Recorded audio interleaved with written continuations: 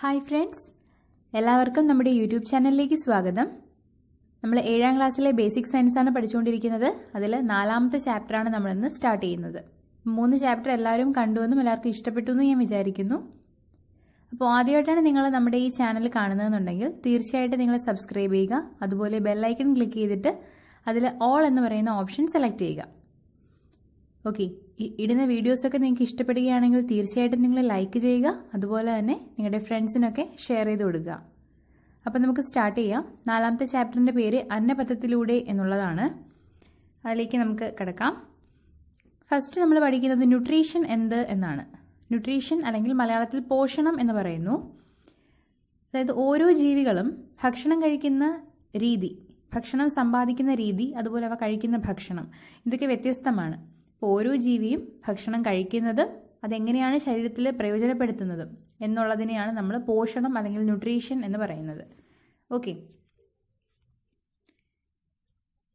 നമുക്ക് എല്ലാവർക്കും അറിയാം സ്വന്തമായിട്ട് ഭക്ഷണം പാകം ചെയ്യാൻ കഴിവുള്ളത് നമ്മുടെ ഹരിത സസ്യങ്ങളാണ് ഗ്രീൻ പ്ലാന്റ്സിനാണ് സ്വന്തമായിട്ട് ആഹാരം പാചകം ചെയ്യാനുള്ള ഒരു കഴിവുള്ളത്.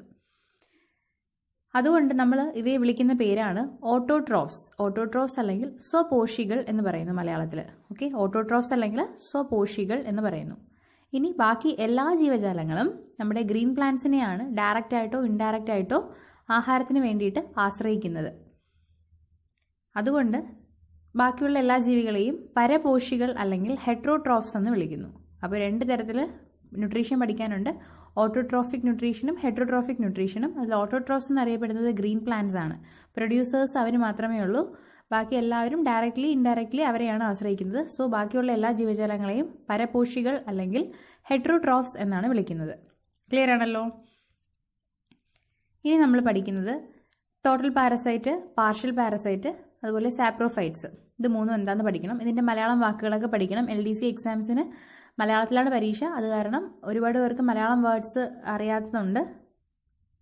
അവർക്കൂടെ വേണ്ടിയിട്ടാണ് നമ്മൾ മലയാളവും അതുപോലെ ഇംഗ്ലീഷും അതിനകത്ത് ഉൾപ്പെടുത്തിയിരിക്കുന്നത്. ഓക്കെ ഇപ്പോൾ ടോട്ടൽ പാരസൈറ്റിന്റെ മലയാളം വാക്ക് പൂർണ പരാതം എന്നാണ്. പാരസൈറ്റ് എന്ന് പറഞ്ഞാൽ പരാതം എന്നാണ് പറയുന്നത്.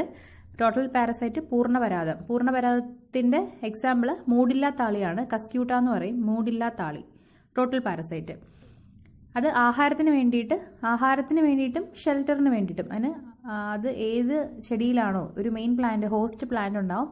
ആ ചെടിയിൽ ആയിരിക്കും നമ്മുടെ മൂടില്ലാത്താളി കിടക്കുന്നത്. ആഹാരത്തിന് വേണ്ടിയിട്ടും ഷെൽറ്ററിന് വേണ്ടിയിട്ടും. ഒക്കെ എന്ത് ചെയ്യുന്നു? ആ ഏത് ചെടിയിലാണോ കിടക്കുന്നത് ആ ചെടീനെ ആശ്രയിക്കുന്നു.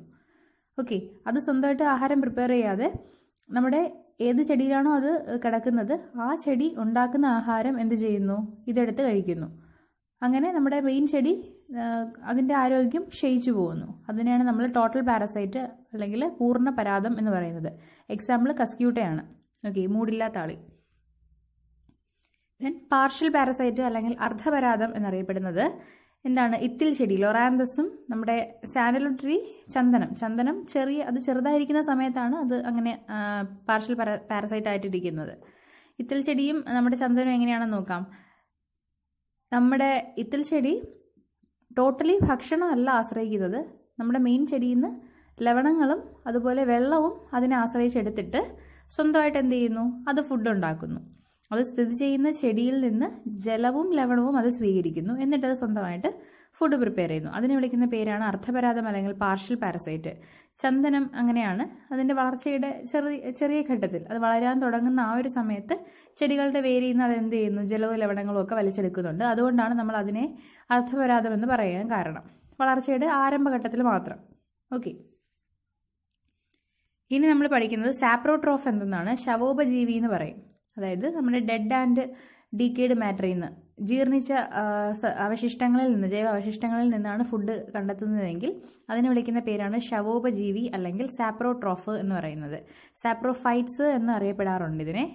അതിന്റെ എക്സാമ്പിൾ മൊണാട്രോപ്പയാണ് മൊണാട്രോപ്പ ഓക്കെ മൊണാട്രോപ്പ എക്സാമ്പിളാണ് മഷ്റൂംസ് ഒക്കെ നമുക്ക് എടുക്കാം എക്സാമ്പിളായിട്ട് ഇനി എക്സ്റ്റേണൽ പാരസൈറ്റ്സും ഉണ്ട് ഇന്റേണൽ പാരസൈറ്റ്സും ഉണ്ട്. ഓക്കെ എക്സ്റ്റേണലും ഇന്റേണലും അതിനെ എക്സ്റ്റേണൽ പാരസൈറ്റിനെ വിളിക്കുന്ന പേര് ബാഹ്യപരാതം എന്നും ഇന്റേണൽ പാരസൈറ്റിനെ നമ്മൾ ആന്തരപരാതം എന്നും വിളിക്കുന്നു. നമ്മുടെ പെയിന് ചെള്ള് മുതലായവയില്ലേ അതൊക്കെ എക്സ്റ്റേണലി കാണുന്നതാണ്. അതുകൊണ്ട് അവയെ വിളിക്കുന്ന പേരാണ് എക്സ്റ്റേണൽ പാരസൈറ്റ് അല്ലെങ്കിൽ ബാഹ്യപരാതം ഇന്റേണൽ പാരസൈറ്റ്സ് വിരയാണ് വേംസ് ആണ്. വേംസ് ഒക്കെ ഇന്റേണലി വയറിനകത്തൊക്കെ കാണപ്പെടുന്നുണ്ട്. അപ്പോൾ ഇന്റേണൽ പാരസൈറ്റ്സ് നമ്മുടെ വേം ആണ് ഇന്റേണൽ പാരസൈറ്റ് ഇനി ചില ചെടികൾ ഇൻസെക്ടോറസ് പ്ലാന്റ്സ് എന്നറിയപ്പെടുന്നു. അറിയാമായിരിക്കും ഇരപിടിയൻ സസ്യങ്ങൾ. അതായത് നമ്മുടെ ആ സസ്യങ്ങൾ ഒരു ട്രാപ്പ് പോലെ ഇരുന്നിട്ട് അവിടെ ചെറിയ ജീവികൾ അതിലേക്ക് ആകർഷിച്ച് വരും. ആകർഷിച്ച് വരുന്ന ജീവികളെ അതെന്ത് ചെയ്യുന്നു? അത് വലിച്ചെടുത്തിട്ട് ആ ട്രാപ്പിനുള്ളിലാക്കിയിട്ട് അതിന്റെ ശരീരത്തെ വിഘടിപ്പിച്ച് അവയ്ക്ക് ആവശ്യമായ ന്യൂട്രിയൻസ് ഒക്കെ എന്ത് ചെയ്യുന്നു? അവ എടുക്കുന്നു. അതിനെയാണ് ഇൻസെക്ടിയോറസ് പ്ലാന്റ്സ് എന്ന് പറയുന്നത്. അതിന്റെ examples Venus fly trap sundew ചെടി അതുപോലെ pitcher plant sundew plant Venus fly trap pitcher plant ഇത് മൂന്നും ഇൻസെക്ടിയോറസ് പ്ലാന്റ്സിന് എക്സാമ്പിളാണ് ഓക്കെ നമ്മുടെ ചെടികൾ എന്തിനാണ് ഇതിങ്ങനെ ചെയ്യുന്നതെന്ന് പറഞ്ഞാൽ നമ്മുടെ ചെടികൾ വളരാനായിട്ട് നൈട്രജൻ അത്യാവശ്യമാണ്. അപ്പോൾ ചില ബാക്ടീരിയസിന് നൈട്രജനെ എന്ത് ചെയ്യാൻ പറ്റും? നൈട്രേറ്റേക്ക് കൺവേർട്ട് ചെയ്ത് നമ്മൾ പഠിച്ചല്ലോ. ഫസ്റ്റ് ചാപ്റ്ററിൽ പഠിച്ചല്ലോ ലഗുമിനസ് പ്ലാന്റ്സിന്റെ കാര്യം. അങ്ങനെ മാറ്റാനുള്ളൊരു കഴിവ് ചില ബാക്ടീരിയാസിനുണ്ട് പക്ഷേ ചില മണ്ണിൽ ആസിഡിന്റെ അംശം കൂടുന്ന കാരണം ഈ ബാക്ടീരിയാസിന് ജീവിക്കാനായിട്ട് പറ്റില്ല. അപ്പോൾ അവിടെ വളരുന്ന ചെടികൾക്ക് ആവശ്യത്തിന് നൈട്രജൻ കിട്ടാത്തൊരവസ്ഥയുണ്ടാവും. അപ്പോൾ അങ്ങനെയുള്ള സ്ഥലങ്ങളിലെ ചെടികളാണ് ഈ ഇൻസെക്ടോറസ് പ്ലാന്റ്സ് ആയിട്ട് മാറി നമ്മുടെ ഇരകളെ പിടിക്കുന്നത്. അങ്ങനെ ഇരയെ പിടിച്ചിട്ട് അതിന്റെ ശരീരത്തിന് എന്ത് ചെയ്യുന്നു? ദഹിപ്പിച്ചിട്ട് ആവശ്യത്തിനുള്ള നൈട്രജൻ അവയുടെ ശരീരത്തിൽ നിന്ന് അത് എന്ത് ചെയ്യുന്നു? എടുക്കുന്നു.